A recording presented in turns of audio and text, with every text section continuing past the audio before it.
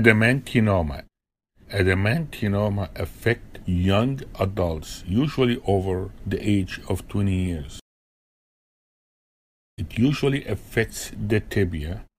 It is a low-grade malignant tumor. When it is a low-grade bony tumor, you treat it by wide excision alone because chemotherapy and radiation therapy will not work for a low-grade malignant bony tumor, such as adamantinoma and parosteal osteosarcoma. Also, chemotherapy and radiation therapy will not work with chondrosarcoma.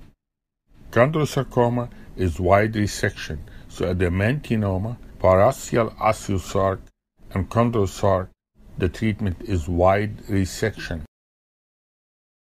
There is a doubt that this tumor, the adamantinoma, arises from the osteofibrous dysplasia.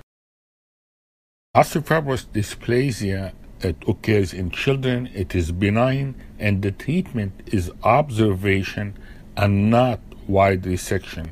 In fact, osteofibrous dysplasia, it looks similar to fibrous dysplasia, but it has an osteoblastic rimming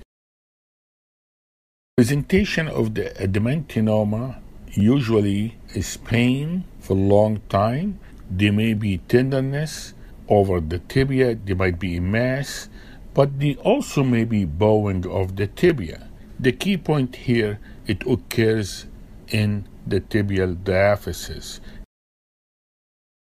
The X-ray is classic with multiple lucent and sclerotic defects soap bubble appearance and there is no periosteal action. Differential diagnosis will be chondromyxoid fibroma, fibrous dysplasia, and osteofibrous dysplasia.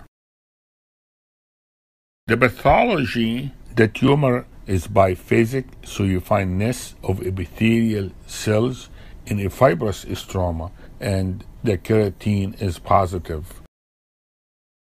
The treatment is wide resection and reconstruction.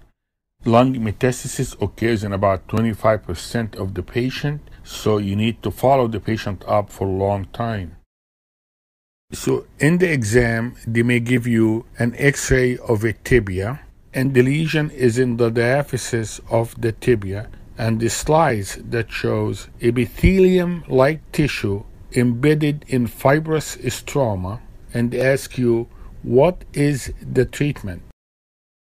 So that's adamantinoma, and the treatment is wide resection.